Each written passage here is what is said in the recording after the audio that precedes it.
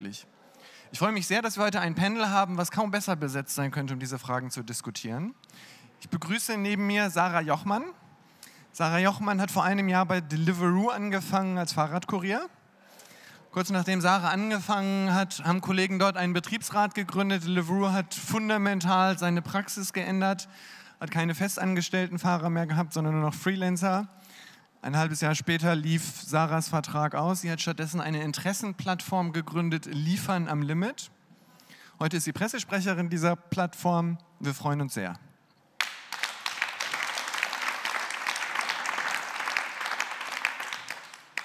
Dann haben wir Frank Wernicke. Frank Wernicke ist gelernter Verpackungsmechaniker, hat angefangen in der IG Medien, saß dort im Bundesvorstand, danach dann nach der Fusion im Verdi-Vorstand, seit 2002 stellvertretender Verdi-Vorsitzender und seit Donnerstag nominiert für die Nachfolge von Frank Bsilske als Verdi-Vorsitzender.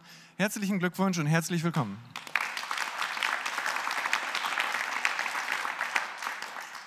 Christiane Benner, Diplom-Soziologin, seit über 20 Jahren bei der IG Metall, seit 2015 als erste Frau an der Spitze der IG Metall als zweite Vorsitzende.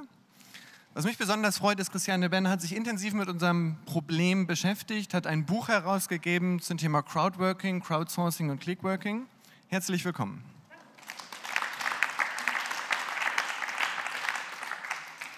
Und schließlich Markus Bieber. Markus Bieber ist eine echte, wenn ich so sagen darf, Wolfsburger Autopflanze, in Wolfsburg geboren, bei VW gelernt, nach dem, nach dem Studium wieder zu VW zurück in die Personalabteilung, dann zum Gesamtbetriebsrat, erst als Referent und jetzt als, als Geschäftsführer des Gesamtbetriebsrates VW. Herzlichen Glückwunsch, äh, herzlich willkommen. So, bei Anne Will hätten wir jetzt einen Einspieler, der so ein bisschen in die Thematik einführt. Das, Nein, wir haben was Besseres. Wir haben statt eines Einspielers haben wir die Sander Martens. Die Sander Martens hat nämlich dieses Thema vorgeschlagen. Der Sander verdanken wir, dass wir heute hier sind. Die Sander arbeitet in Düsseldorf bei Verdi als Gewerkschaftssekretärin und übernimmt jetzt die Einführung des Themas. Ja, danke, das mache ich gerne. Ja, schönen guten Tag erstmal. Mit meinem Beitrag, den ich eingereicht habe, möchte ich ähm, die SPD über dieses Camp hinaus ähm, zu einer Erneuerung auffordern zu einer Grundsatzdiskussion ähm, über die durch neue Technologien notwendig gewordene politische, genauer sozialdemokratische Ausgestaltung unseres gesamten Zusammenlebens, heute, morgen und übermorgen. In meinem Impulsvortrag werde ich mich beschränken auf die Umstrukturierung in der Arbeitswelt durch ähm, die äh, künstliche Intelligenz, durch das Internet der Dinge aus Sicht der Arbeitnehmenden. Automatisierung, Digitalisierung, Industrie 4.0, das sind aktuell geradezu inflationär benutzte Kampfbegriffe. Ähm, die stehen für ähm, scheinbar zwangsläufige technologische Entwicklungen in der Arbeitswelt, denen wir uns ausgeliefert fühlen. Man äh, will, dass wir uns äh, am besten mit denen wie mit einer Naturgewalt ohnmächtig abfinden. Dabei ist die Frage, wie wir morgen arbeiten werden, keine Frage der Technologien, der Digitalisierung oder der Roboter, das ist vielmehr die Frage, wie die Arbeit zukünftig ähm, organisiert und verteilt wird. Die Technologie an sich verändert nicht die Arbeitswelt. Der Grundimpuls der Veränderungen kommt vielmehr aus dem Wunsch der Unternehmen, noch flexiblere Beschäftigte, noch flexiblere Arbeitszeiten, noch weniger lästige Regularien zu haben. Und diese Absichten türken die Unternehmen, wenn sie äh, permanent mit einer Industrie 4.0 Werbekampagne omnipräsent sind. Dabei darf die Diskussion über die neuen Technologien nicht nur in der Faszination darüber erschöpfen. Denn dann laufen wir die Gefahr, die aus Sicht der Arbeitenden viel wichtigere, viel lebenswichtigere Frage aus den Augen zu verlieren, nämlich die Frage nach der Umverteilung der Gewinne, der Vermögen, der Arbeit, also die Frage nach der Verteilung der sogenannten Digitalisierungsdividende. Unser Ziel und unsere politische Forderung müssen daher lauten, alle müssen vom technischen Fortschritt profitieren. Gerade die SPD als Partei der Arbeit muss doch ähm, die ähm, Teilnahme aller Arbeitenden am technologischen Fortschritt groß auf ihre Fahnen schreiben und zur Bedingung ihrer Zustimmung zur politischen Weichenstellung machen. Diese Verteilungsfrage hat aber viel mehr mit den Machtverhältnissen in, in den Unternehmen zu tun, als mit der technischen Machbarkeit.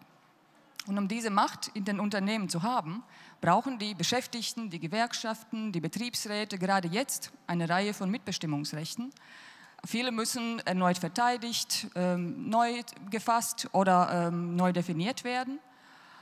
Und um die Arbeitsbedingungen besser gestalten zu können, ihre eigenen neuen Arbeitsbedingungen besser gestalten zu können, brauchen die Arbeitenden eben dieses Mitspracherecht, um äh, bei den digitalen Veränderungen in den Betrieben auch wirklich mitsprechen und mitbestimmen zu können. Und diese Herausforderungen von morgen, die können wir nicht mehr mit den Arbeits-, Tarif- und Mitbestimmungsrechten von gestern meistern. Wenn wir also nicht jetzt klare Forderungen, klare Ideen an die Regierung, an das Parlament, an die eigene Partei formulieren, wie wir die Macht der Arbeitenden ausbauen und stärken können, wie wir die verängstigten Arbeitenden mitnehmen können, wie wir ihre Arbeitskraft zukunftsfest machen können, dann wachen wir alle morgen in einer digitalisierten Arbeitswelt auf, die aus Sicht der Arbeitenden einem Albtraum gleicht. Das könnte eine digitalisierte Arbeitswelt sein, ohne Tarifverträge, ohne Gewerkschaften, weil es eben kaum einen Arbeitgeber mehr gibt, der tarifgebunden ist. Das könnte eine digitalisierte Arbeitswelt sein ohne äh, Betriebsräte, weil es eben keine Betriebe und keine Arbeitnehmerinnen und Arbeitnehmer im Sinne unserer heutigen Gesetze mehr gibt. Und wenn es die gibt, dann sind die Arbeitsverhältnisse so prekär und unsicher, dass die Beschäftigten sich gar nicht mehr trauen, einen Betriebsrat zu gründen. Das könnte eine digitalisierte Arbeitswelt sein mit kaum Arbeitsschutz, äh, mit kaum äh, sozialer Absicherung, weil all die neuen und auch die alten Erwerbsformen, ähm, die sind, die Beschäftigten, die dort arbeiten, sind nicht mehr von den sozialen Gesetzen in unserem Land äh, geschützt.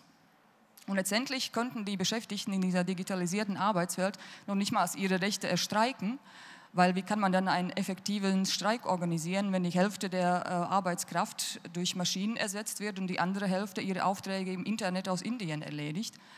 Das kann doch wirklich nicht unsere Vorstellung von der Arbeitswelt von morgen sein. Das dürfen wir einfach so nicht zulassen.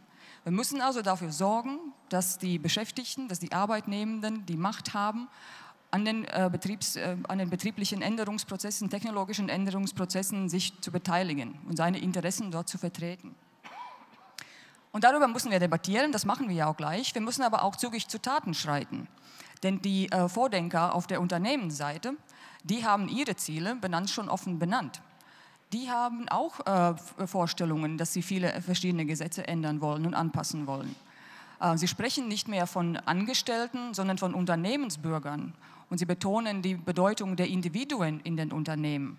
Dabei wird einem ganz schnell klar, gegen wen sich diese Ansichten richten.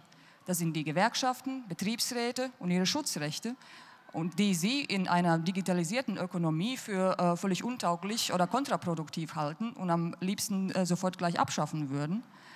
Also, wenn wir keine klaren Forderungen und Ziele unsererseits in die öffentliche Debatte stellen, dann stehen die Unternehmenslobbyisten bald nicht nur vor den Türen der Abgeordnetenbüros, sondern sind, sitzen schon mit am Tisch und schreiben die Gesetzentwürfe. Das dürfen wir einfach nicht zulassen. Das wäre einfach fatal, wenn auch diese Rationalisierungswelle letztendlich ähm, zulasten der Arbeitenden gehen würden und nur den äh, Eigentümern von Maschinen und Robotern zugutekommen würde. Deshalb ist es ja so, dass die Digitalisierung uns durchaus äh, Vorteile und Chancen bringen kann und, und wirklich uns allen. Wenn wir die Chance erkennen und nutzen können, die es uns erlaubt, alles neu zu denken, alle Glaubenssätze über Bord zu werfen und einen neuen Sozialstaat für alle Menschen äh, zu entwickeln, der auf die Lebenswirklichkeit des 21. Jahrhunderts ausgerichtet ist. Und da bin ich felsenfest davon überzeugt, ohne einen Systemwechsel können wir eine soziale und gerechte Arbeitswelt von morgen nicht haben. Deshalb sage ich, die ähm, neue Arbeiterbewegung im digitalen Zeitalter braucht schleunigst weitere Robotergesetze. Gesetz Nummer eins, die Roboter müssen für mehr Freizeit für Menschen arbeiten bei vollem Lohnausgleich. Gesetz Nummer zwei, die Roboter müssen für erfüllende und gesunde Arbeit der Menschen arbeiten. Gesetz Nummer drei, die Roboter müssen für eine gerechte Umverteilung der Digitalisierungsdividende arbeiten. Gesetz Nummer vier, die Roboter müssen auch die Arbeitslosen finanzieren und sich an Sozialkosten beteiligen. Und das Gesetz Nummer fünf, Roboter müssen für gute und auskömmliche Rente aller Menschen arbeiten. In diesem Sinne auf eine Erneuerung in der digitalen Arbeitswelt.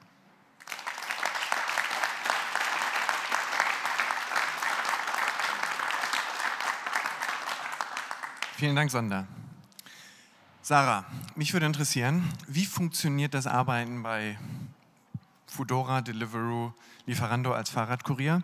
Und wie unterscheiden sich die Arbeitnehmerrechte, die ihr dort erlebt habt, von dem, die ein Arbeitnehmer an einem ganz traditionellen, tarifgebundenen Arbeitsplatz in der klassischen Industrie, wie zum Beispiel VW, das tagtäglich erleben würde? Ja, hallo erstmal. Ähm ja, wie soll ich das erklären? Äh, wir reden ja heute hier über digitalen Kapitalismus und irgendein Journalist hat dann über meine Kollegin irgendwann mal geschrieben, ähm, das neue digitale Proletariat. Und warum macht es denn die Arbeit so prekär, warum wir auch heute darüber reden? Und zwar, man muss sich vorstellen, ähm, man ist draußen bei dem Sauwetter wie heute und äh, man muss dann Arbeitsmittel selber stellen. Die Kuriere, die angestellt sind, die verdienen alle den Mindestlohn von 9 Euro, müssen aber auch das Arbeitsmittel selber warten und dann wird der Mindestlohn auch wieder unterhöhlt. Und ähm, wie heißt es, das Problem war, warum auch bei Deliveroo viele dann einen Betriebsrat wollten, war, weil wir nicht bezahlt worden sind. Die haben teilweise unregelmäßige Lohnzahlungen gehabt und die Winterkleidung wurde nicht gestellt. Ähm, wir hatten wirklich Angst, dass wir da richtig ausgebeutet werden. Und was macht das Ganze denn auch nochmal so einen Unterschied zu einem klassischen Betrieb? Der Unterschied ist eigentlich, man arbeitet ja über das Handy. Man bekommt den Auftrag auf das Handy und ein Algorithmus sagt einem, was man zu tun hat. Also der schickt einem zum nächsten Restaurant, wo der Auftrag verfügbar ist und von dort bringt man das Essen zum Kunden. Und das bedeutet auch eigentlich, dass man gar nicht mehr mit dem Unternehmen kommunizieren kann. Also das heißt, man kommuniziert mit seinem Handy und das war's dann. Und wenn Probleme aufstehen, dann kann man eine E-Mail noch irgendwie an das Unternehmen schreiben. In der Zeit letztes Jahr im Dezember, als die Kollegen den Betriebsrat gründen wollten, da gab es sogar noch eine App, wo wir eigentlich untereinander kommunizieren wollten. Und als dann die Mitbestimmung eingefordert worden ist, hat das Unternehmen gesagt, so, wir nehmen euch jetzt die App einfach mal weg. Weil es reicht ja, wenn ihr E-Mails schreiben könnt an das, Unternehmen. Und ähm, alles, was wir so an Mitbestimmung eigentlich dadurch einfordern wollten, wurde ja uns zerstört, dadurch, dass quasi keiner, wir waren 140 Angestellte, keiner mehr dort arbeitet. Nur noch im Office gibt es Angestellte und alle anderen wurden durch Solo-Selbstständige ausgetauscht. Die verdienen 5,50 Euro pro Auftrag und wenn es keine Aufträge gibt, verdienen die auch nichts. Die sind irgendwie gar nicht richtig versichert, die haben keine sozialen Absicherungen, die zahlen nicht ins Rentensystem ein und ähm, die wissen auch teilweise gar nicht, dass sie so prekär arbeiten. Und dann fragen sich natürlich oder fragen mich auch immer viele, warum machst du diesen Job? Weil er einfach richtig viel Spaß macht. Aber die Bedingungen sind sehr, sehr, sehr bescheiden geworden. Und es gibt viele, die Eintrittsbarrieren sind sehr, sehr gering. Man braucht keinen Lebenslauf schreiben. Man kann einfach dort sich anmelden, braucht einen Gewerbeschein und kann anfangen zu arbeiten. Und das macht es auch für viele, die sonst auf dem Arbeitsmarkt gar keine Chance haben, so attraktiv. Und deswegen gibt es auch immer noch viele, die einfach hinten anstehen und dann quasi wieder nachkommen, weil viele nach zwei, drei Monaten dann auch merken, dass es gar nicht so gut ist, dort zu arbeiten. Und ähm, es gibt auch die Möglichkeiten, das auf Englisch oder auf Spanisch zu machen. Also diese Apps gibt es nicht nur auf Deutsch. Das bedeutet, man muss halt auch nicht wirklich jetzt hier komplett voll integriert sein in der Sprache und kann dort arbeiten. Und ähm, ich finde, äh, wie diese Mitbestimmung dort einfach ausgehebelt worden ist, das ist eine Sauerei. Und dafür haben wir halt die Kampagne auch einfach gegründet und würde auch gerne mit euch nochmal weiter darüber reden, wie ihr so in der Meinung dazu steht.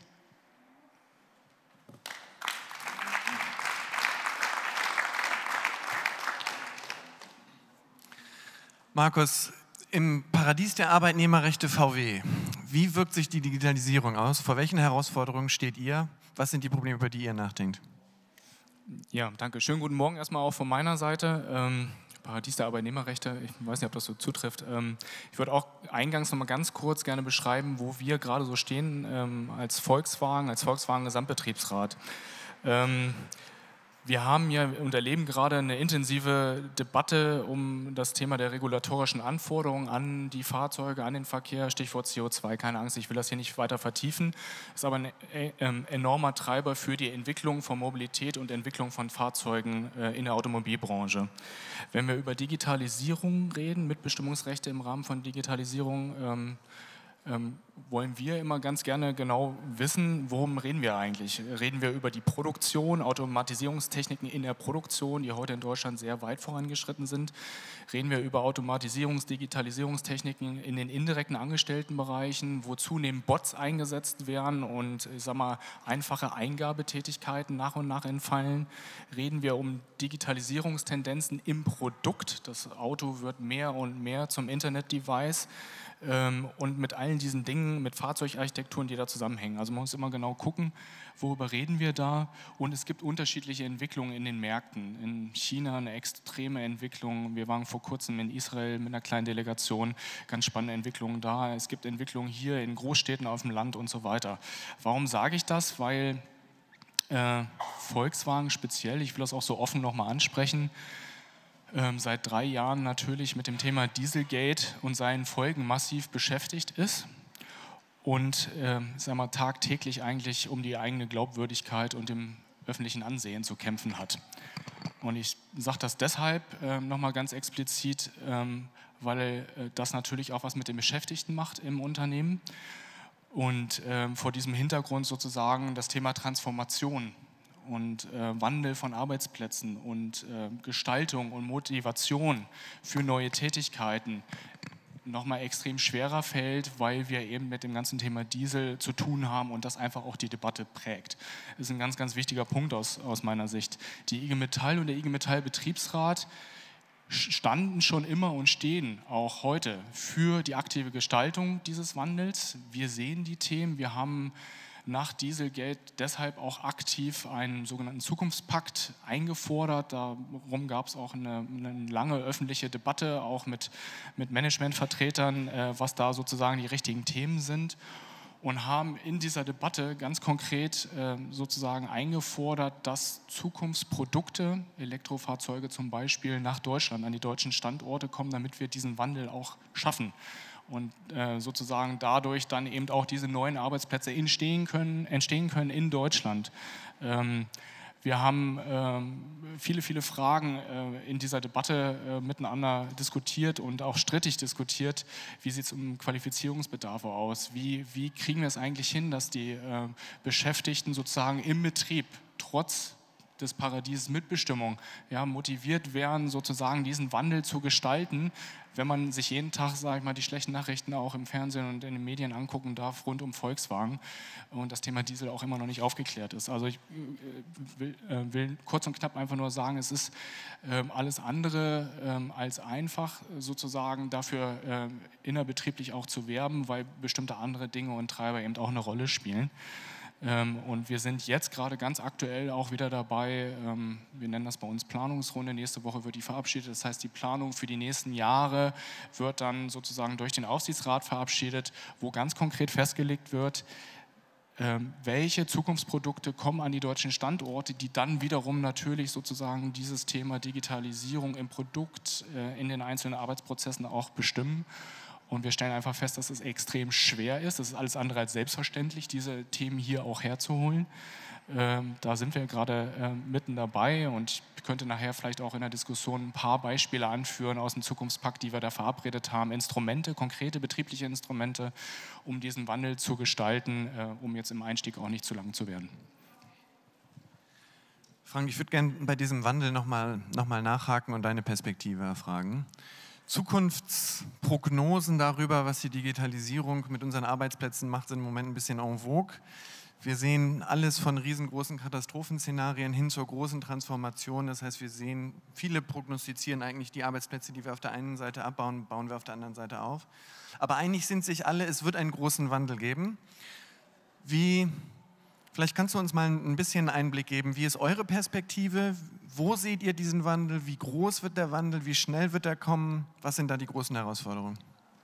Ja, vielen Dank, das mache ich gern. Wobei mir es dann wichtig wäre, dass wir später nochmal auf das zurückkommen, was Sarah äh, sagt. Weil, das wisst ihr vielleicht, wir organisieren als wer die Selbstständige, immerhin 30.000, und zwar welche, die selbstständig sein wollen. Aber wir sind natürlich an dieser Schnittstelle erzwungene Selbstständigkeit, auch unterwegs, etwa bei Hermes oder Amazon Flex, wo es ja vergleichbare Geschäftsmodelle gibt. Daraus äh, leiten sich, glaube ich, ganz konkrete Themen ab. Ähm, wir brauchen keine Zukunftsszenarien, die gibt es alle, weil wir erleben das derzeit in der Praxis. Es gibt Branchen in Verdi, die sind massiv durch Arbeitsplatzverluste gekennzeichnet infolge von technologischem Wandel. Die härtesten Einschläge sind derzeit im Banken- und Versicherungsbereich. Es gibt eine Umfrage des Bankenverbandes, also des Arbeitgeberverbandes bei den Beschäftigten.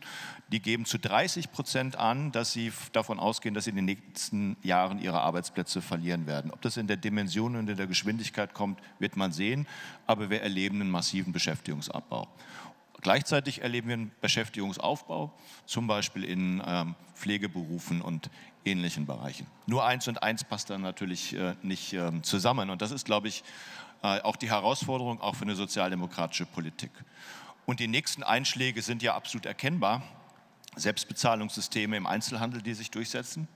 Wer mal in einem frisch eröffneten IKEA-Markt war, weiß, was da alles möglich ist an Digitalisierungsprozessen und Verzicht auf menschliche Arbeit, auch auf Beratung durch Menschen. Oder etwa zum Beispiel im Callcenter, wo mittlerweile über Sprachsysteme, die leider ziemlich gut funktionieren, ähm, Arbeitsplatzabbau. Das, das sehen die Menschen, dass da was auf sie zukommt und das ist mit Verlust und Abstiegsängsten verbunden. Und das ist, glaube ich, auch eines sage ich mal, der wesentlichen Gründe. Es gibt da keine eindimensionalen Antworten, aber diejenigen, die im politischen Spektrum auf diese Verlustängste reagieren oder, die sie ansprechen, zu agieren. Deshalb ist, glaube ich, die Sozialdemokratie gefordert. Gleichzeitig entstehen äh, neue Arbeitsplätze, ähm, auch äh, außerhalb von, sage ich mal, solchen eher fragwürdigen Geschäftsmodellen in breiten Teilen, ähm, zum Beispiel der Altenpflege, des Gesundheitswesens, ähm, auch in der Logistik, auch in nicht prekären Bereichen der Logistik. Nur es nützt natürlich der Kollegin, die in einer Policenfabrik einer Versicherung sitzt, relativ wenig zu wissen, dass in Pflegeberufen Beschäftigung entsteht.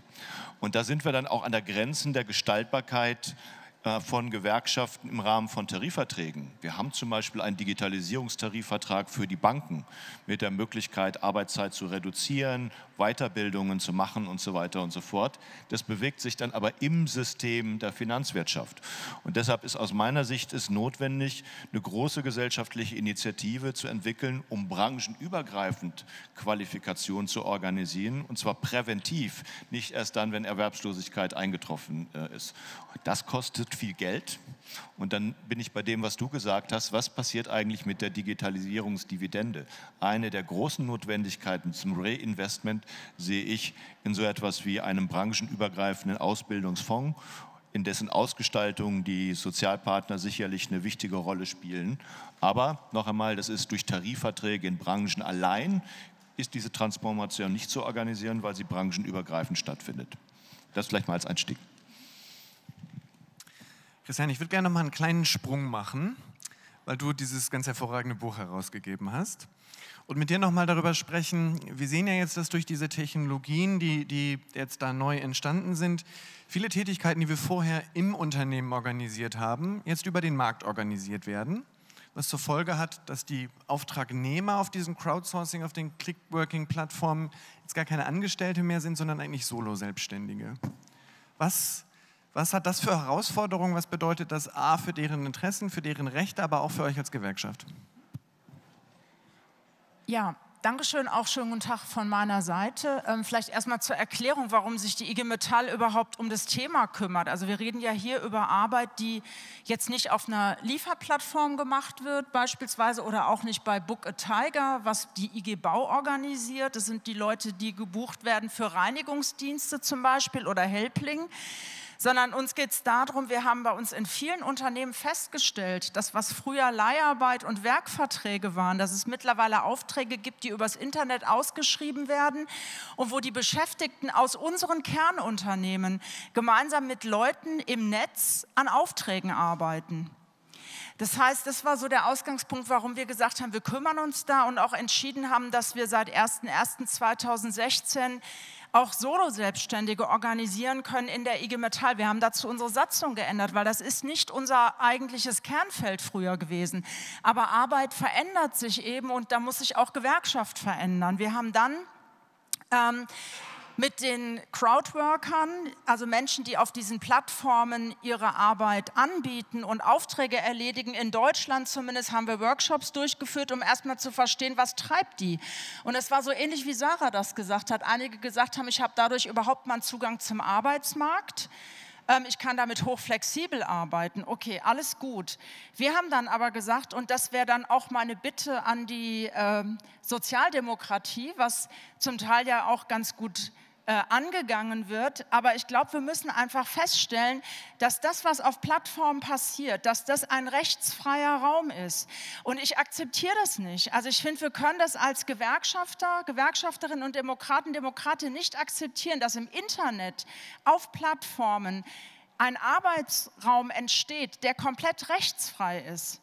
Die Leute haben keine Schutzbedingungen, die Leute haben keine Entgeltfortzahlung im Krankheitsfall, die Leute haben keine Möglichkeiten für ihre Altersvorsorge vorzubeugen, äh, vor, also eine Absicherung zu machen. Aber krasser ist es eigentlich, dass die Arbeitgeberseite, auf die will ich mal gehen, die Plattformbetreiber, die leisten keinen Beitrag für den Sozialstaat in Deutschland. Sie profitieren. Und wir werden am Ende durch Altersarmut, werden wir eine Sozialisierung dieser Folgekosten dieser sozialen haben. Und das müssen dann die Steuerzahler machen. Und das geht nicht. Und deshalb brauchen wir dort ein gutes sozialpolitisches Konzept.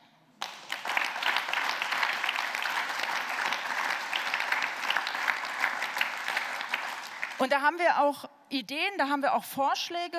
Und äh, also es ist doch nicht nachvollziehbar, warum es für Solo-Selbstständige nicht so etwas geben sollte wie eine Mindestabsicherung.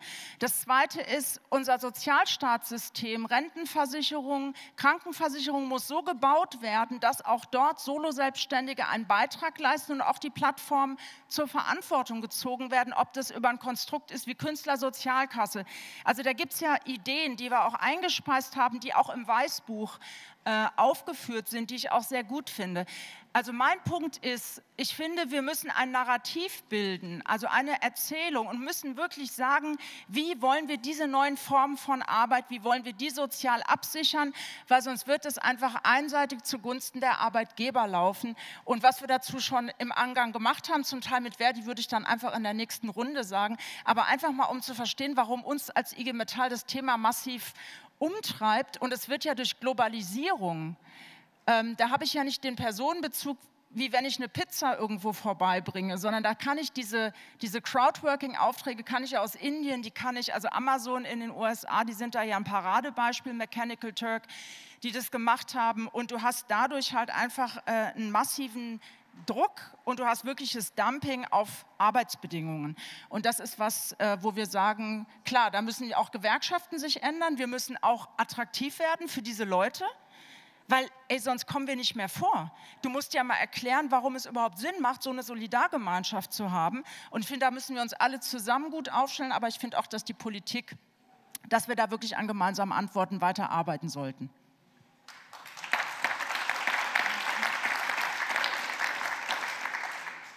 Dankeschön. Ich würde gerne diesen Gedanken jetzt noch mal ein kleines bisschen zuspitzen. Wir sind ja jetzt hier bei der SPD und so, so eine Art Runde des Wünsch dir was starten. Was wünschen wir uns jetzt eigentlich, nachdem wir diese Probleme verstanden haben, von der SPD, von der Politik? Welche Veränderungen sind notwendig, um die sozialen Errungenschaften, für die wir so lange gekämpft haben, jetzt auch auf diese neuen Bereiche zu übertragen, um genau das, was ihr beschrieben habt, zu verhindern?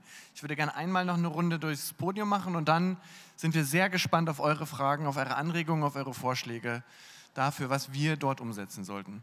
Sarah, dürfte ich mit dir anfangen? Was, was fordert Liefern am Limit? Wie könnten wir als SPD Liefern am Limit glücklich machen? Ja, was wünschen wir uns? Also ich habe zwei Jobs dadurch verloren und auch der andere Job war einfach sachgrundlos befristet. Und es soll ja eingedämmt werden, aber nicht komplett abgeschafft werden. Das hat es ja auch eigentlich dazu gebracht, dass es keinen Betriebsrat mehr gibt. Und was ist denn überhaupt mit dem normalen Kündigungsschutz für Betriebsräte? Warum greift ihr denn nur für entfristete Menschen, und, also Angestellte und nicht für alle? Das sind so die zwei Forderungen, die wir erstmal haben. Und was ich mir auch sehr wünschen würde, ähm, in der Fleischindustrie hatten wir das ja auch, dass die Fleischer ihre Messer selber mitbringen mussten. Und das wurde ja dann auch geändert. Und warum müssen wir unser Fahrrad mitbringen? Und ähm, warum wird da nicht kontrolliert, dass dafür eigentlich quasi auch Geld gezahlt wird? Warum werden die Kontrollen nicht erhöht? Oder warum werden auch nicht die Kontrollen erhöht? Ist es eine Scheinselbstständigkeit oder nicht? Also baut doch mal den Zoll aus. Das ist irgendwie ein großes Wunsch oder ein großer Wunsch von mir und von meinen Kolleginnen.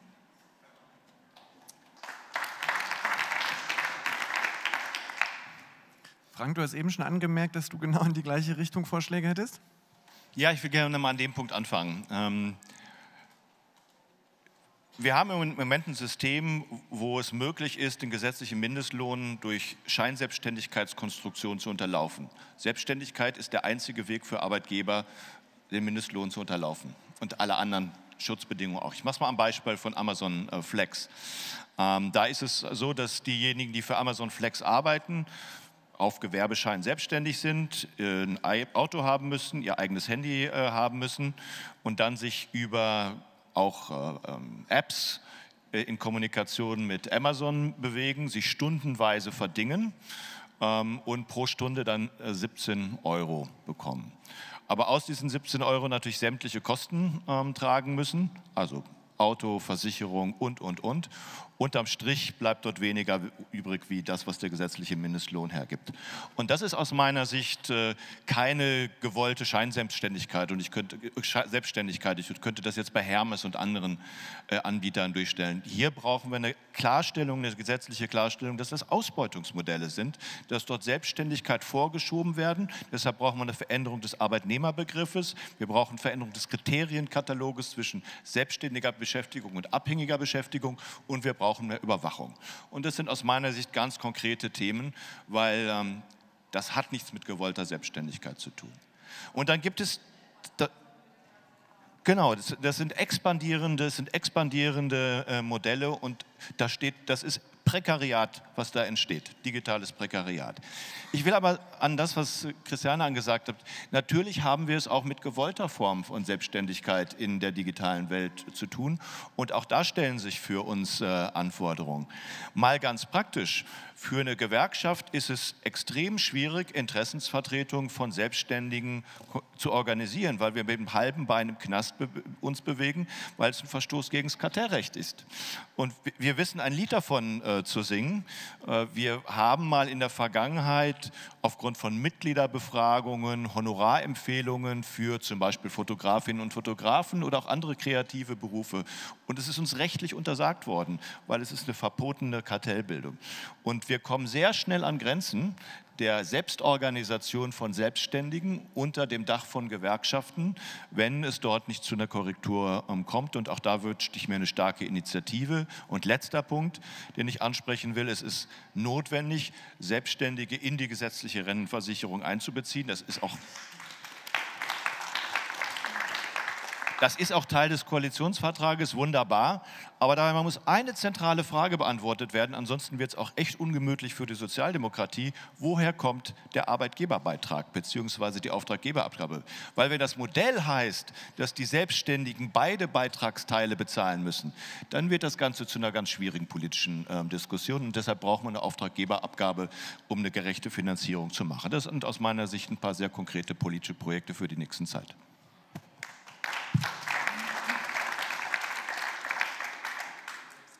Markus, nochmal der Sprung zu den alten Industrien. Du hast die Herausforderungen des Wandels beschrieben, vor denen ihr intern steht.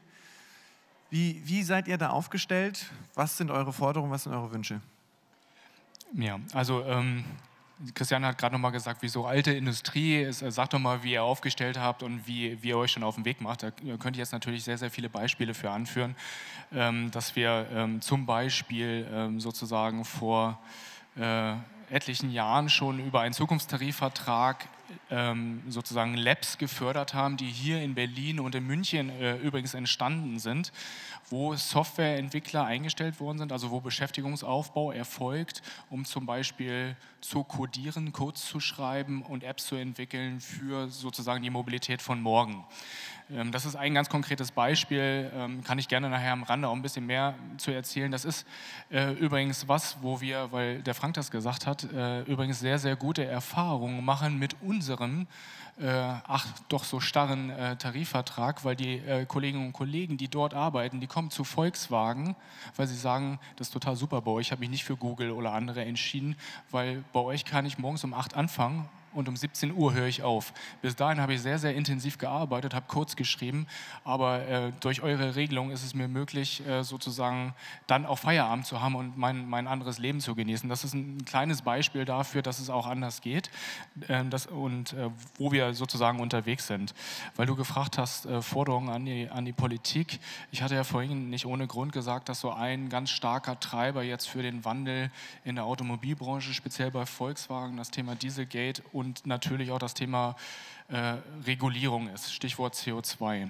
Ähm, da ist in der Vergangenheit aus unserer Sicht einiges auch nicht ganz optimal gelaufen im gemeinsamen Dialog. Deswegen äh, würde ich mir sehr deutlich hier auch wünschen, dass wir ähm, einfach äh, in sehr naher Zukunft auch einen gemeinsamen Aufbruch SPD, Betriebsräte, Vertrauensleute ganz konkret im Betrieb in der Automobilbranche suchen, den Dialog auch führen, was bedeutet eigentlich eine Verschärfung von CO2-Anforderungen, in welchem Verhältnis steht das eigentlich zu einer Herstellung von Elektroautos, wo wir heute nicht wissen, wo kommen die Rohstoffe her, wie sieht die Energieversorgung aus, Stichwort Ladeinfrastruktur, Recycling und so weiter. Diese Fragestellungen müssen wir dringend miteinander diskutieren diskutieren, weil das ganz konkret Transformation und Wandel für die Automobilindustrie bedeutet. Und von daher freue ich mich übrigens auch sehr, dass Andrea Nahles für nächste Woche äh, zugesagt hat, zu uns nach Wolfsburg zu kommen und auch im Arbeitnehmerkreis äh, diese Fragen mit uns zu diskutieren. Und ein letzter Punkt, der mir auch extrem wichtig ist, ist, äh, Du hast vorhin gesagt, Arbeit, Arbeiterparadies und Mitbestimmungsparadies. Äh, bei Volkswagen ja, wir haben eine starke Mitbestimmung, wir haben das Volkswagengesetz, wir können ein paar Dinge regeln, die, ist mir vollkommen klar, woanders nicht geregelt werden können.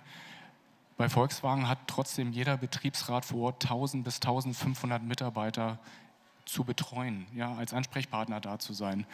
Ähm, und ähm, wenn wir den Anspruch haben, in eine Gestaltungsrolle äh, zu kommen, den wir haben, den Anspruch, und auch Ideen zu entwickeln mit den Beschäftigten, sehr konkret beteiligungsorientiert vor Ort, würde ich mir ganz konkret wünschen, äh, auch das Thema Stärkung der Rolle der Mitbestimmung, wie es vorhin auch schon angeklungen ist, nochmal den Blick zu nehmen. Das betrifft die Anzahl von Betriebsräten, das betrifft Freistellungsthemen, das betrifft auch die Wertschätzung von Betriebsratsarbeit und Entlohnung von Betriebsratsarbeit. Das vielleicht nur ganz kurz als Stichpunkte von mir dazu. Dankeschön.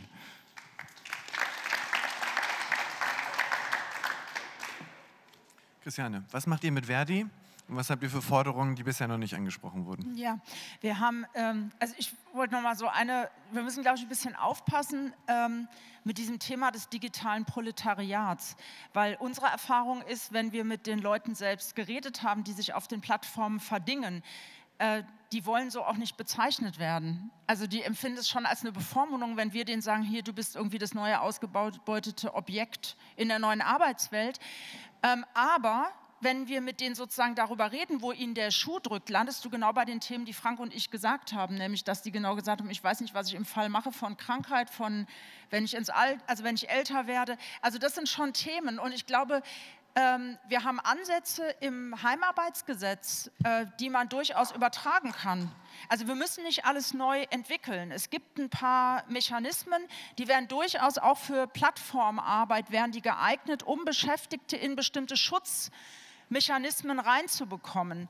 Ähm, also da, das müssten wir, glaube ich, einfach aufgreifen und modernisieren. Und ich glaube, entscheidend wird es sein, um auch nicht in das ganze Ding, ist das jetzt Solo-Selbstständigkeit, Selbstständigkeit. Ich glaube, dass sich Erwerbsverläufe verändern werden. Also, dass du wirklich öfter deine, deinen Arbeitgeber wechseln wirst, als es bislang der Fall ist. Und ich glaube, es ist wichtig, sozialpolitisch sich verändernde Erwerbsverläufe abzusichern und dafür ein politisches Konzept zu liefern. Und das würdest du ja wirklich machen, indem du eine Portabilität, ich sag mal, deiner Rentenpunkte, egal wo du bist, äh, absicherst, indem eben wie in anderen Ländern du die Rentenversicherung öffnest. Aber das will ich jetzt nicht zum dritten Mal sagen. Ich glaube, die Punkte sind klar geworden. Was wir gemacht haben, um vielleicht mal, wir wollten einfach mal losgehen. Wir haben mit neuen Plattformen, wir haben letzte Woche die Zusage bekommen von der neunten, mit neuen Plattformarbeitgebern in Deutschland. Wir reden über ungefähr zwei Millionen Clickworker oder so wollen die nicht, also Internetbeschäftigte, die, sich, die auf diesen Portalen sind, nicht hauptberuflich, ähm, aber viele im Nebenberuf, ähm, dass wir da wirklich ähm, versucht haben, uns, wir haben die größten rausgegriffen, die größten Plattformen, haben mit denen uns getroffen und haben mit denen einen Code of Conduct, einen Verhaltenskodex ausgearbeitet, dem sie beigetreten sind. Und da verpflichten sie sich ähm, auf Standards, und auf eine faire Behandlung ihrer Beschäftigten. Also das ist nicht justiziabel, aber es ist, es war eine, es ist eine Absichtserklärung und es ist ein Ansatzpunkt, um diese Internetarbeit, um diese Plattformarbeit zu gestalten. Und wir haben das mit den äh, Beschäftigten zusammen gemacht und mit den Plattformarbeitgebern und ähm, haben dann eine Ombudsstelle eingerichtet, wo wir ehrenamtliche Landes eine ehrenamtliche Landesarbeitsrichterin aus Hessen haben, wo sich die Crowdworker beschweren können, wenn sie nicht fair behandelt werden. Also dir passiert so ein Mist, du arbeitest und auf einmal wird dir dein Account gelöscht. Du arbeitest, du kriegst kein Geld, weil auf einmal der Plattformarbeitgeber sagt, hey, du hast deinen Job nicht richtig ausgefüllt. Und da haben wir so eine Stelle eingerichtet, ganz neu, wo die Leute, die die Leute kontaktieren können. Und wir haben bisher alle Fälle außergerichtlich geklärt.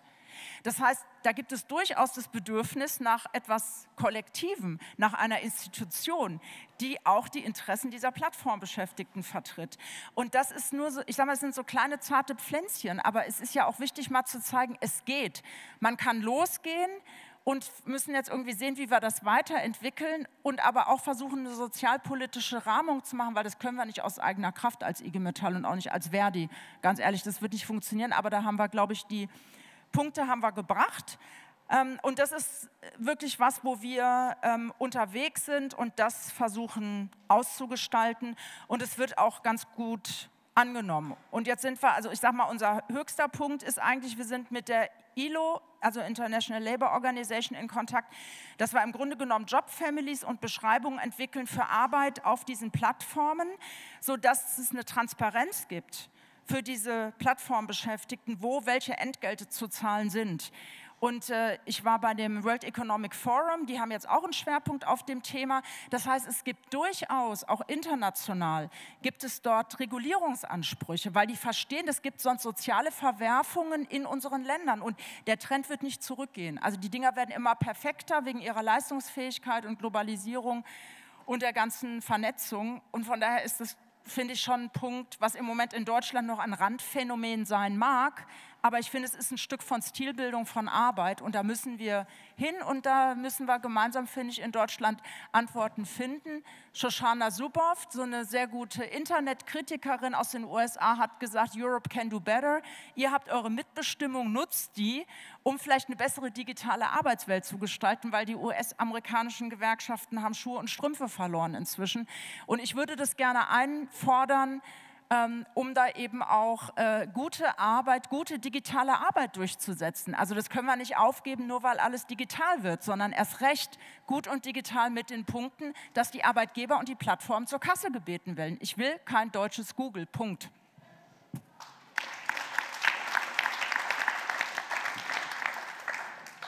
Vielen Dank. So, ich würde jetzt den Floor eröffnen. Ich fange vorne gleich mal an.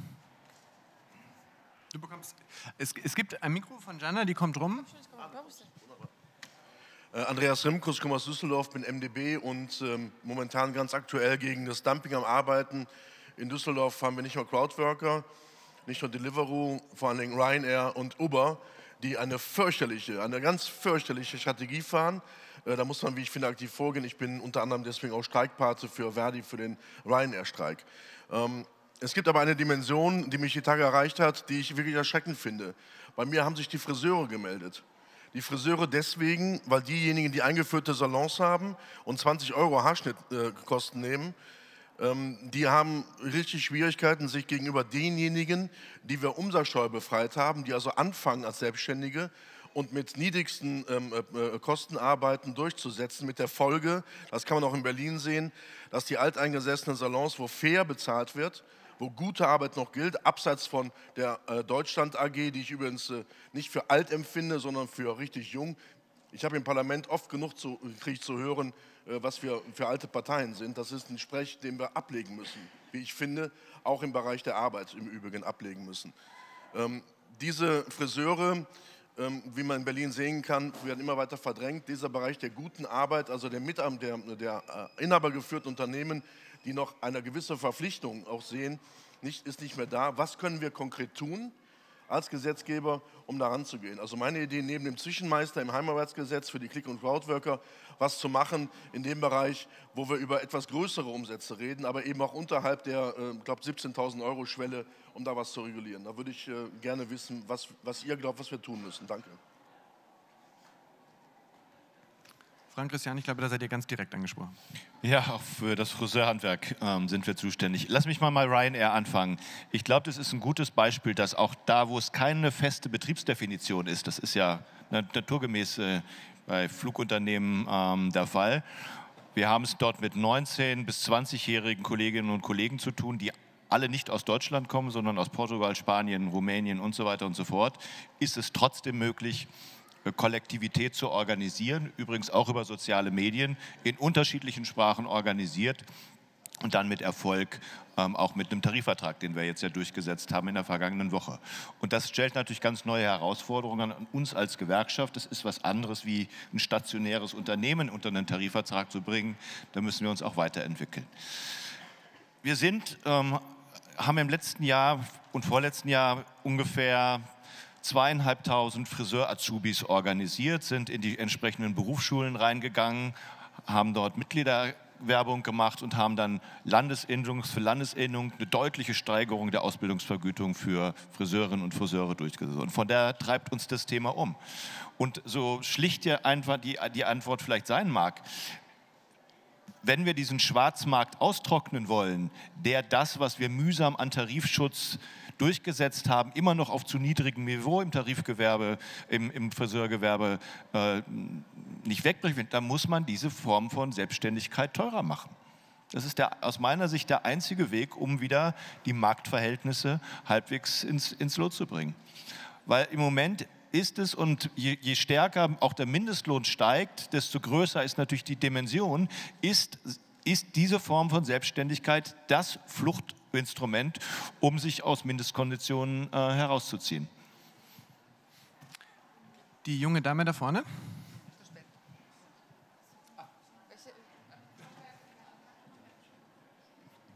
Ich will mich aber nicht vordrängeln, aber das Mikro ist schon bei mir. Darf ich, ja? Gerne. Also ich bin Malu Dreier, hallo.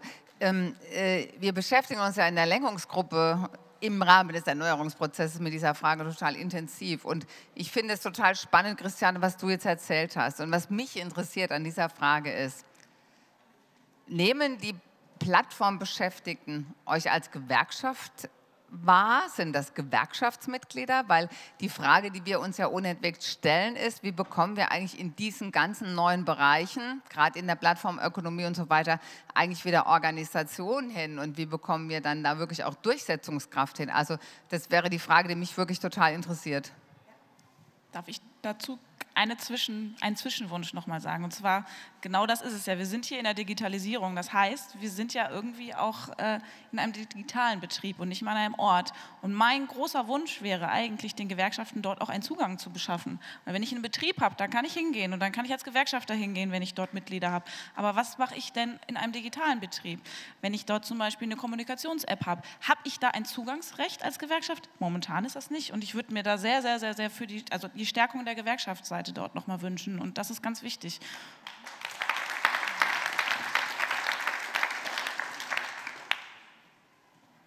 Wir haben über viel äh, Mühe haben wir, so, haben wir die Kontakte aufgebaut zu den äh, Plattformen. Das war der erste Weg, weil wir festgestellt haben, da waren total offene junge Leute dabei und die hatten einfach Gewerkschaften überhaupt noch nicht gedacht. Also von der Arbeitgeberseite. Die waren, haben eigentlich voll den guten Anspruch an gute Arbeit. Die sagen, hey, das ist alles kollaborativ, das ist alles unhierarchisch. So haben die Leute eigentlich Bock zu arbeiten. So, das heißt, da war eine Offenheit und die hatten uns erstmal überhaupt nicht auf dem Schirm als Akteur. Und über diese Progress Progressiven haben wir einen Zugang bekommen über ihre Plattform an ihre Beschäftigten. Und mit denen konnten wir dann Workshops machen.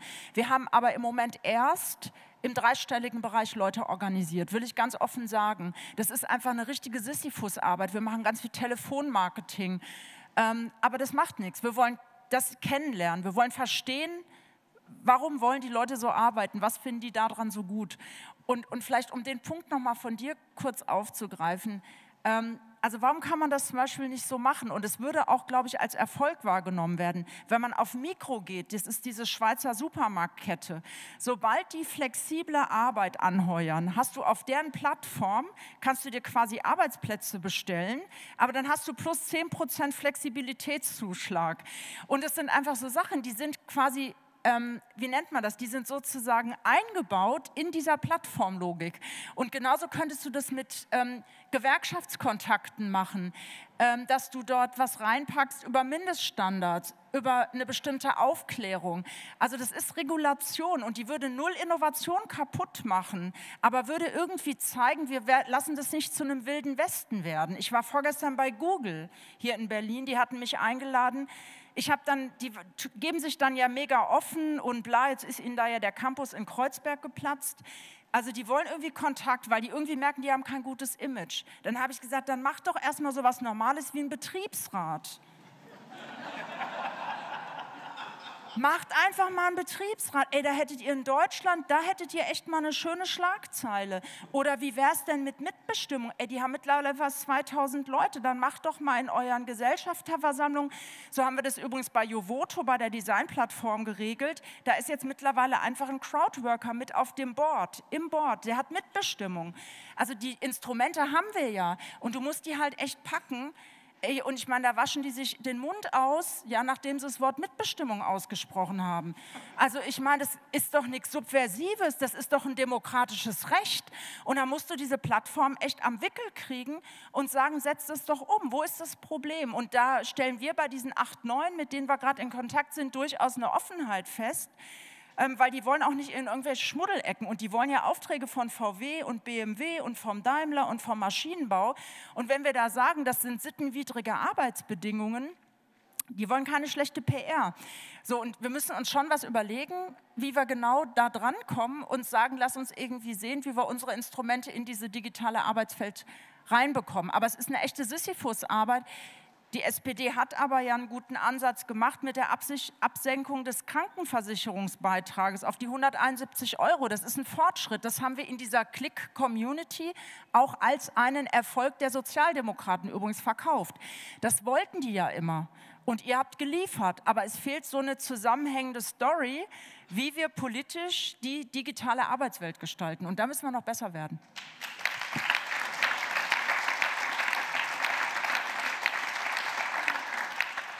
So, dann, dann würde ich den jungen Herrn mit dem grauen Hemd da mal fragen. Ja, mein Name ist Wilfried Dirks. Mir geht es darum, es werden immer sehr viele Gesetze gemacht zum Schutze der Ausgebeuteten. Aber ich habe das Gefühl, der Staat äh, schafft es nicht, diese Gesetze auch wirklich durchzusetzen und umzusetzen. Und da sehe ich viel mehr das Problem.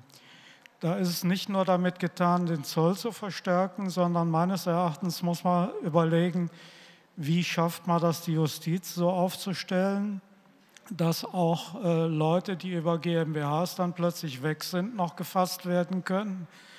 Und wie kriegt man das hin, die Gesetze tatsächlich auch umzusetzen? Sonst nutzt uns das gar nichts. Ein Mindestlohn von 20 Euro nutzt uns nichts, wenn es keinen gibt, der ihn kontrolliert. Frank, möchtest du? Gut, dann sammeln wir mal Fragen. Eine junge Dame vielleicht. Wo haben wir eine junge Dame? Ja, wunderbar. Hi, ähm, soll ich aufstehen? Hm. Ähm, Ronja Endres, ich bin von der Arbeitsgemeinschaft für Arbeitnehmendenfragen in der SPD. Mich würde interessieren, was ihr meint, was denn auch die betriebliche Mitbestimmung in der Digitalisierung konkret braucht. Wir haben ja schon gehört, dass das gar nicht so einfach ist in der Plattformökonomie. Es ist aber auch gar nicht so einfach mit den neuen Herausforderungen bei einem Unternehmen wie Volkswagen, wenn wir daran denken, Homeoffice, wie kann ich da eigentlich eine Betriebsbegehung machen und solche Geschichten. Also was meint ihr, braucht die betriebliche Mitbestimmung in der Digitalisierungsdebatte? Dann würden wir noch eine dritte Frage. Der junge Herr da mit dem roten Pulli hat sich schon sehr lange gemeldet.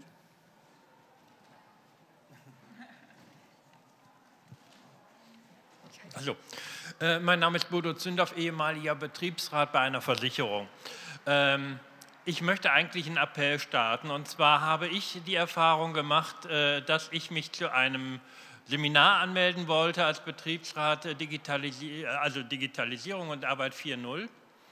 Und ich habe es bei äh, äh, sehr lange gewartet. Dann kam die Absage, wir fanden nicht genug Betriebsräte, die sich dafür interessierten. Das habe ich bei drei Unternehmen gemacht. Es kann nicht sein, dass uns das Handwerkzeug fehlt, um äh, diesen, äh, gerade jetzt im Versicherungsbereich, Frank hat es gesagt, äh, diesen Rationalisierungen, die es ja sind, dem entgegentreten zu können. Wir müssen veröffentlichen, auch in unseren äh, Gewerkschaftszeitungen, dass die und aufrufen, dass die Betriebsräte sich um dieses Thema kümmern. Äh, richtig ist natürlich die, äh, alles das, was du in deinem Input gegeben hast, äh, äh, das war ganz klasse. Ich danke dir dafür. Gut, Markus, VW ist direkt angesprochen worden. Fangen wir vielleicht mit dir mal an. Betriebliche Mitbestimmung, genau. Ähm, würde ich gerne zwei, drei Impulse äh, mit reingeben. Also vielleicht was ganz Einfaches, was man machen kann, was wir intern auch äh, sozusagen betriebsratseitig mit Vertrauensleuten diskutiert haben, ist äh, zu sagen, ganz am Anfang mal, was ist Digitalisierung für uns eigentlich? Also eine Definition von Digitalisierung, wo, in welchen Bereichen findet sie statt, wo sind Chancen und wo sind Herausforderungen? Ähm, das haben wir gemacht in einem ziemlich breiten sag ich mal, Kontext bei uns auch im Gesamtbetriebsrat an allen Standorten und haben eine ganz einfach eine Digitalisierungsbroschüre aus Sicht der Mitbestimmung entwickelt, wo wir gesagt haben, das sind Chancen, das sind Risiken. Ja, und wir wollen es gestalten, wir wollen nach vorne gehen. Wir haben, wir haben versucht, auch Begriffe zu erklären. Was ist eigentlich agiles Arbeiten und so? Ja? Ähm, Geht es da jetzt sozusagen nur äh, um Arbeitszeitausweitung durch die Hintertür oder ist es eigentlich eine veränderte Arbeitsorganisation? Also sowas äh, mal zu erklären. Erster Punkt. Ganz, äh, ganz einfach, ein ganz einfaches Tool. Ähm, zweiter Punkt ist, dass man, ähm, also was, was, womit wir gute Erfahrungen machen, deswegen ähm, sozusagen auch mein Plädoyer Mitbestimmung vor Ort zu, zu stärken, ganz konkret ist, äh, wir versuchen gerade so Art Transformationslandkarten zu erarbeiten. Das ist, äh, klingt jetzt erstmal ein bisschen merkwürdig, aber es ist ganz konkret vor Ort im Betrieb. Wenn wir wissen, äh, äh, die Kostenstelle ja, mit, mit 15 äh, Mitarbeitern, die haben wir in drei Jahren nicht mehr, weil wir das Produkt nicht mehr haben. So, da sind äh, sozusagen unterschiedliche Mitarbeiter drin mit unterschiedlicher demografischer Entwicklung, mit unterschiedlichen Qualifizierungen. Dann gehe ich erstmal hin, mache eine Ist-Aufnahme und erarbeite, wer arbeitet dort eigentlich und wo, in welchen Bereichen werden jetzt neue Arbeitsplätze aufgebaut. Und wir, wir versuchen sozusagen, äh, dadurch so kleine Landkarten zu erstellen, um erstmal zu erfahren, wo, wo entsteht was Neues, was brauchen wir dafür eigentlich an Qualifizierungsthemen äh, und, äh, und wo kann man vielleicht auch dann sagen, der eine oder andere, denen ermöglichen wir dann auch eine Chance über einen sozialverträglichen äh, Ausstieg, über Altersteilzeit und so weiter. Instrumente über einen Tarifvertrag haben wir dazu. Dritter Punkt, äh, vielleicht betriebliche Mitbestimmung. Wir, bei uns heißt das Volkswagenweg. Äh, das, das heißt, es ist ein sehr beteiligungsorientierter Prozess, sehr konkret vor Ort. Wir haben Mitbestimmung bei Versetzungen. Ganz konkrete Mitbestimmung bei Versetzung. Wir sagen, wir stimmen als Betriebsrat vor Ort der Versetzung nicht zu, solange nicht klar ist, wo der Zielbahnhof für die Mitarbeiterin oder den Mitarbeiter ähm, eigentlich ist. Dadurch zwingen wir sozusagen den Arbeitgeber auch dazu, über die Zielbahnhöfe sehr frühzeitig nachzudenken äh, und Angst zu nehmen und zu sagen, äh, so sieht dein zukünftiger Arbeitsplatz aus, du brauchst dafür noch erstens, zweitens, drittens. Wenn das klar ist, gibt es eine Zustimmung und dann erfolgt die Versetzung. Vielleicht ganz kurz äh, dazu von mir. Danke. Vielleicht nochmal die, die Frage zur Justiz. Sarah, dürfte ich dir die geben? Ihr kämpft gerade dagegen, dass bei euch quasi Scheinselbstständigkeit herrscht? Ja, also wir sind mit einigen Fällen vor Gericht gelandet. Leider sind vier der Fälle von Betriebsräten im Vergleich geendet. Und ähm, ich glaube, da ist das große Problem. Ich glaube, unsere Arbeitsgerichte sind überfordert. Wir haben jetzt noch einen offenen Fall von dem ehemaligen Betriebsratsvorsitzenden bei Deliveroo, der klagt und hat beide Vergleiche abgelehnt, aber die Leute werden in der Zeit ausgeblutet. Was macht man denn in der Zeit, wenn man vor Gericht sitzt? Der äh, stellvertretende Betriebsratsvorsitzende von Fodora hatte zwei Jahresverträge, ja, und jetzt wird er halt auch nicht entfristet und der ist jetzt auch im Klagen. Und was macht er denn in der ganzen Zeit? Die Arbeitsgerichte brauchen viel zu lange und warum müssen denn die Arbeitnehmer anfangen zu klagen und warum gibt es nicht von vornherein die Möglichkeiten, da direkt Schutzmechanismen zu schaffen, dass gar nicht erst dieser lange Klageweg überhaupt bestritten werden muss?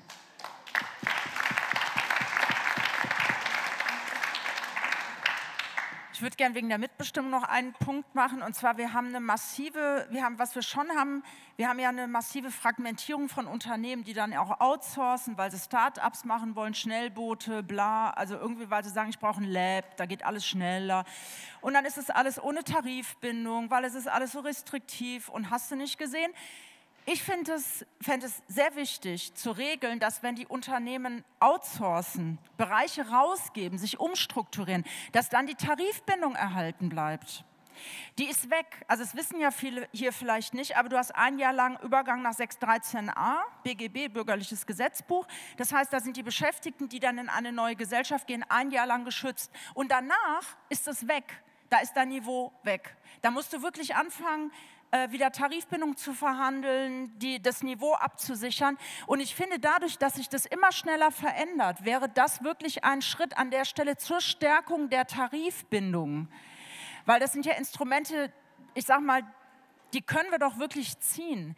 Da zu sagen, ähm, ich bringe das Unternehmen erstmal in die Situation im Tarifvertragsgesetz, dass die Tarifbindung bestehen bleibt und nicht umgekehrt, dass wir ja, aber deswegen diskutieren wir ja hier. Das würde ich so jetzt pauschal auch nicht sagen.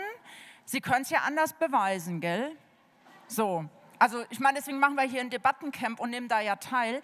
Die Idee ist bekannt, also die haben wir auch formuliert, gemeinsam mit dem Deutschen Gewerkschaftsbund, auch mit Verdi, äh, mit den anderen Gewerkschaften. Aber das wäre ein ganz wichtiger Punkt, um da auch schon mal eine Eindämmung zu machen bei der Deregulierung.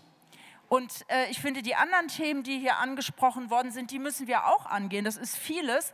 Aber das wäre wirklich ein ganz, ganz entscheidender Punkt zur Stärkung der Tarifbindung, bei Ausgliederung Tarifbindung weiter bestehen zu lassen. Warum müssen wir die Bittsteller sein, die dann eine neue Tarifbewegung organisieren, was wir dann natürlich auch machen? Aber um die Standards zu erhalten, ich finde, das geht nicht. Das dient ja echt dann zum Profit machen. Und wir sind flexibel sowieso bis zum Anschlag, die Arbeitnehmer. Aber ich möchte gerne einen geregelten Rahmen durch eine Tarifbindung behalten.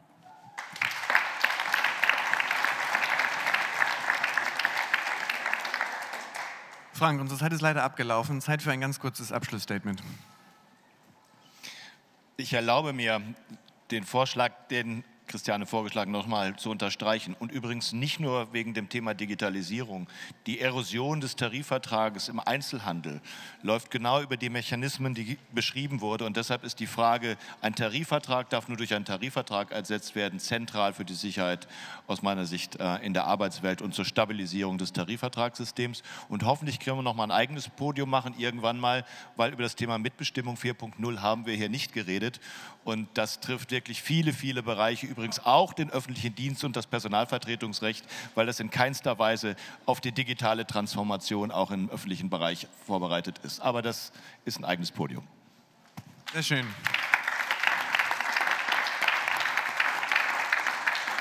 Unsere Zeit ist leider wirklich jetzt tatsächlich abgelaufen. Wir haben viele konkrete Forderungen an uns, an die Sozialdemokratie bekommen. Wir haben gesehen, was für große Herausforderungen ihr als Gewerkschaften habt. Vielen Dank dafür, vielen Dank fürs Zuhören, vielen Dank fürs Kommen.